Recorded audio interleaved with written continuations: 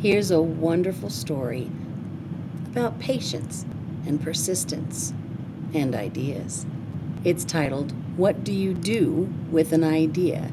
And it's written by Kobi Yamada and illustrated by Mae Besom. One day, I had an idea. Where did it come from? Why is it here? I wondered, what do you do with an idea? At first, I didn't think much of it. It seemed kind of strange and fragile.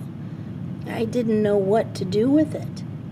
So I just walked away from it. I acted like it didn't belong to me.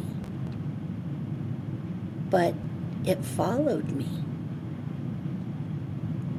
I worried what others would think. What would people say about my idea? I kept it to myself. I hid it away and I didn't talk about it. I tried to act like everything was the same as it was before my idea showed up. But there was something magical about my idea. I had to admit, I felt better and happier when it was around. It wanted food. It wanted to play. Actually, it wanted a lot of attention. It grew bigger, and we became friends. I showed it to other people, even though I was afraid of what they would say. I was afraid that if people saw it, they would laugh at it. I was afraid they would think it was silly. And many of them did. They said it was no good. They said it was too weird.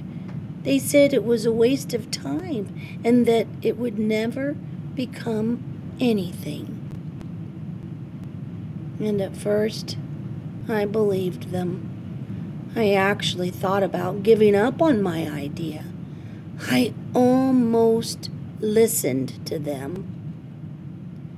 But then I realized what do they really know? This is my idea, I thought.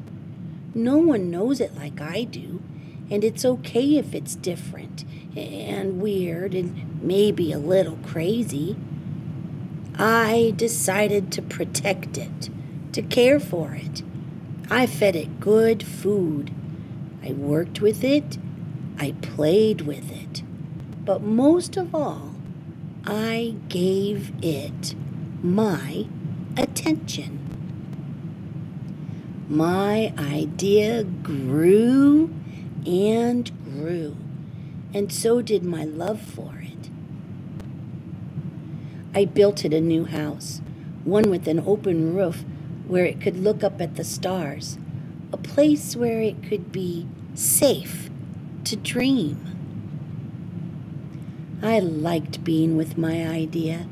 It made me feel more alive, like I could do anything. It encouraged me to think big and then to think bigger. It shared its secrets with me it showed me how to walk on my hands. Because, it said, it is good to have the ability to see things differently. I couldn't imagine my life without it. Then one day, something amazing happened. My idea changed right before my very eyes. It spread its wings, took flight, and burst into the sky. I don't know how to describe it, but it went from being here to being everywhere. It wasn't just a part of me anymore. Mm-mm. It was now a part of everything. And then I realized what you do with an idea. you change the world. What do you do with an idea? A wonderful story that reminds us to welcome new ideas and to nurture them with patience and persistence. And hey, when you do, you never know. you just might change the world.